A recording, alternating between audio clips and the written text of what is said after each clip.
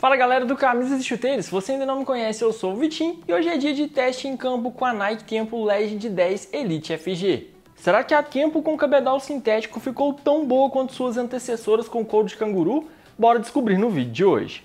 E após a análise, se você quiser comprar o modelo, tem links aqui na descrição e no primeiro comentário fixado. Comprando por esses links, vocês não pagam mais caro e me ajudam a trazer cada vez mais conteúdo para o canal.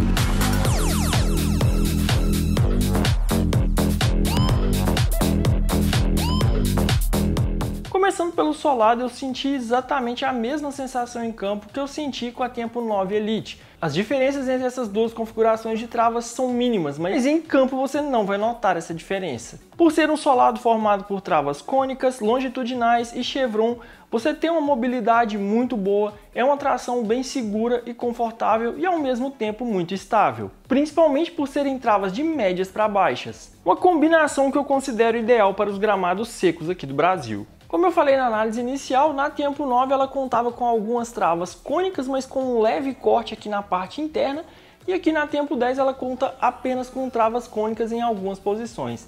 Em campo eu realmente não senti diferença. E para uma Tempo esse solado também tem uma boa resposta. É um solado que continua excelente. Com o tamanho brasileiro 41, a Tempo 10 Elite pesa apenas 200 gramas. Ela é sem dúvidas a tempo mais leve que eu testei até hoje, mas isso acontece por conta da troca do couro natural por uma microfibra sintética. A Nike utilizou no cabedal da Tempo 10 Elite a tecnologia Fly Touch Plus, que é uma microfibra sintética de excelente qualidade. Ela chega até a enrugar, já é muito macia desde o início, e à medida que você vai utilizando, ela vai ficando cada vez mais macia. Também gostei do grip em contato com a bola e a sensibilidade ao toque na bola também é excelente, já que é um cabedal bem fino. No site da fornecedora existe a informação de que esse cabedal em Fly Touch Plus é mais macio do que o couro original e ele se molda ao formato do pé.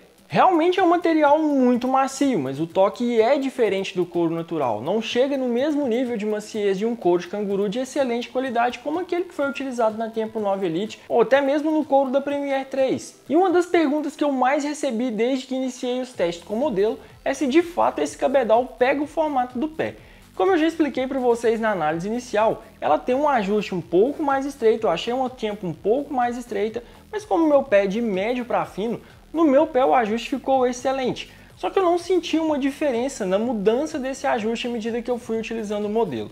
Eu vou continuar com os testes, mas pelo menos por enquanto, depois de muitas horas de uso, eu não senti esse cabedal pegando o formato do meu pé. Como já mostrei em outras análises para vocês, eu tenho joanete. Quando eu utilizo uma chuteira com couro natural muito macio, geralmente o couro molda ao formato do meu pé. Então ele fica realmente ali com uma casinha para o joanete. Aqui, pelo menos por enquanto, isso não aconteceu, já que o joanete do meu pé direito é muito maior do que o do pé esquerdo, então já daria para ver essa diferença aqui. Pelo menos por enquanto, não me incomodou de forma alguma, mas eu não senti que pegou o formato do meu pé. Seguirei testando, observando e esse será tema para um futuro revisando. Se assim como eu você é fã da linha e se adaptou ao excelente couro de canguru, você não vai encontrar a mesma experiência na Tempo 10 Elite. Para mim, esse material Flytouch Plus é muito mais semelhante ao Kanga Light, que era utilizado na antiga CTR 360. Um pouco diferente, mas mais parecido com ele. Mas mesmo não tendo a mesma experiência do cabedal em cor de canguru, a minha experiência em campo com a Tempo 10 Elite foi muito boa.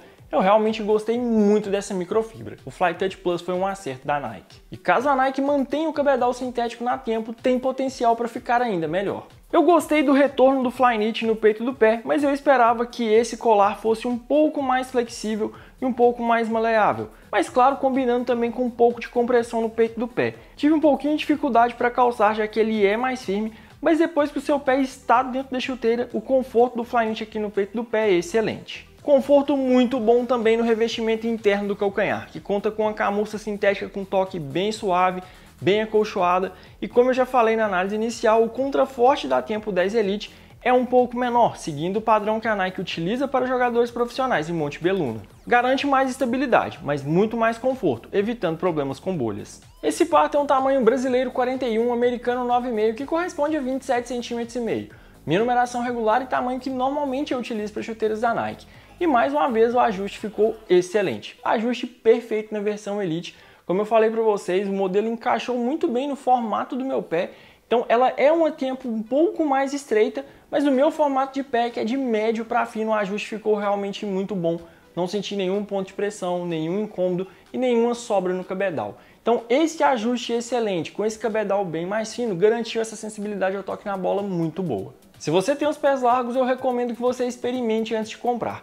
Como eu já falei, eu ainda não tenho certeza se esse cabedal vai lacear, ele vai expandir lateralmente como couro.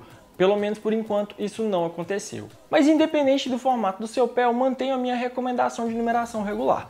Não existe necessidade de optar por meio tamanho maior, como aconteceu na Tempo 10 Pro TF. Pelo menos para mim, ajuste perfeito.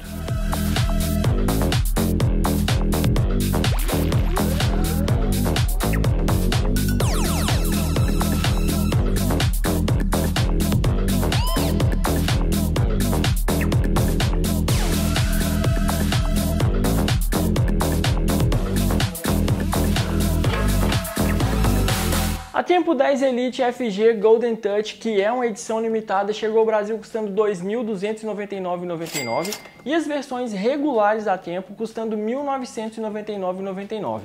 Esse esquema de cores aqui já apareceu em uma promoção custando R$ 1.530. Já as versões regulares já apareceram em outras promoções custando até R$ 1.300. É estranho falar isso, mas a Tempo 10 Elite é uma das melhores chuteiras com cabedais sintéticos do mercado.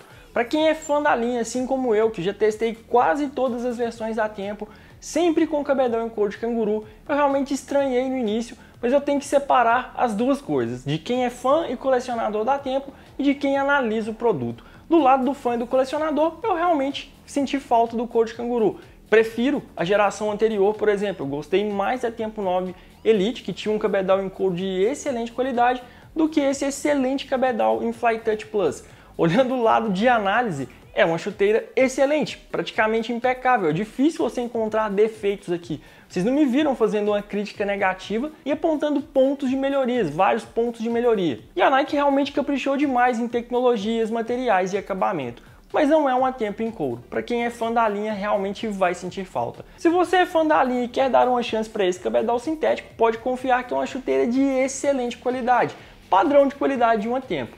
Mas se você prefere o couro ou não abre mão do couro, é melhor optar por uma Premier 3 que continua no mercado e entrega esse toque mais clássico do couro de canguru. Continua sendo uma das melhores chuteiras do mercado, mas dessa vez na categoria de cabedais sintéticos. O que você achou da análise da Tempo 10 Elite FG? Se já utilizou o modelo, me conte aqui nos comentários como foi a sua experiência. Gostaria de agradecer aos parceiros da Nike Brasil pelo envio do material e principalmente por sempre confiarem no meu trabalho aqui no Caminhos Chuteiros. Muito obrigado! Se gostaram do vídeo, deixem um like, compartilhem com os amigos e principalmente inscrevam-se no canal.